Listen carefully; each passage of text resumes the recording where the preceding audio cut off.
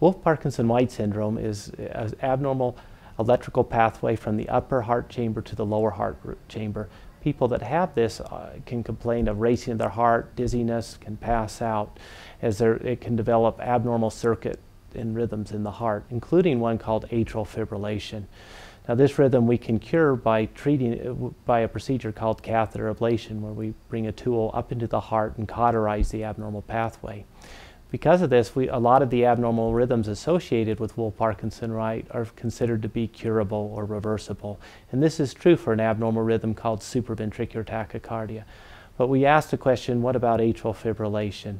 We know it's a, there's a higher risk long term of developing atrial fibrillation with Wolff-Parkinson-White, but if we treat it earlier, does it help? And in a recent study, we found that it didn't actually, and this suggests that people with Wolff-Parkinson-White have a higher risk, an inherited risk of atrial fibrillation that we need to consider alone.